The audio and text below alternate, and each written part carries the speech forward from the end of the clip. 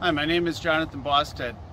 I'm proud to introduce to you my Hitch Caddy, your solution for banged shins, stolen hitches, and lost pins. I'm going to show you today a few ways to mount this. First I'm going to show you my trailer mounting option. You can mount this several different ways on your trailer. Upside down like this, or on the back like this.